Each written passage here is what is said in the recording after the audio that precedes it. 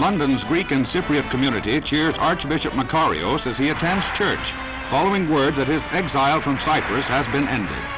Another step following the agreement on the independence of Cyprus toward soothing the scars that still remain after the long crisis over the Mediterranean island, British owned with largely Greek and Turkish population.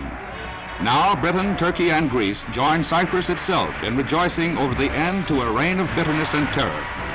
The Archbishop was a leader of the nationalists whose claim for enosis, union with Greece, has been relinquished. An angry quarrel that disrupted NATO's southeastern flank has been settled in one of the outstanding political achievements of recent years.